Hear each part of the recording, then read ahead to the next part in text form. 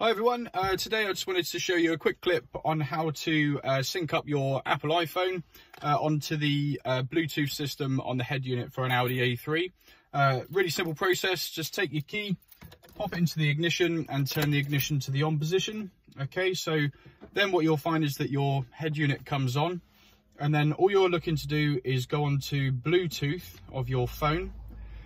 Okay, and then as you're looking for just on here, Bluetooth will come up and then after a few moments of just waiting for it to uh, find the Audi system and it will come up saying uh, Audi UHV etc etc so just give that a minute for that to find it.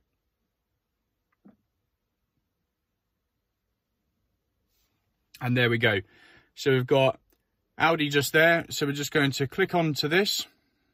Okay and then once it goes onto there, you'll see it loading and a little code comes up. The preset code is one, two, three, four, and then just hit pair. Okay, you can choose whether or not you wish for the contacts to be synced here. I'm just going to click on don't allow, for example. You get a little dong, uh, basically pop up on the head unit and a sound from the speakers just to let you know that that is now synced. And as you can see now, Audi UHV 5174 is now connected to your head unit. So now you can go ahead and make your calls uh, just on the car itself uh, and all through um, the head unit. So it's all Bluetooth and completely hands-free and safe to drive. So uh, that's it. Nice and simple. Turn the ignition off and that's job done. I hope this was really helpful. Thanks again for watching. See you next time.